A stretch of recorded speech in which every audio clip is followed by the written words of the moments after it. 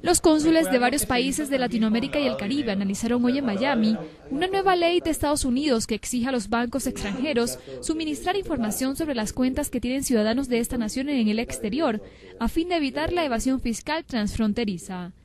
El cónsul general de Uruguay en Miami, Álvaro Gallardo, explicó al respecto. Según lo que nos han explicado, esta ley obliga a esos ciudadanos a declarar sus, depósitos en el extranjero y también obliga a las instituciones eh, financieras a informar a los Estados Unidos, especialmente al IRS, eh, sobre la existencia de, esos, de, estas cuentas y depósitos. Para el cónsul general de Perú, Enrique Bustamante, el nuevo marco legal permitirá a las autoridades tributarias estadounidenses tener una mejor recaudación y al mismo tiempo habrá un mayor control de las cuentas bancarias de los ciudadanos de Estados Unidos. Sin embargo, Bustamante manifestó su preocupación. El problema es la forma, es decir, cómo, cómo esto se va a ejecutar sobre ciudadanos que tengan una doble nacionalidad eh, que tengan, eh, se identifiquen o abran cuentas corrientes como ciudadanos de cada uno de los países de origen.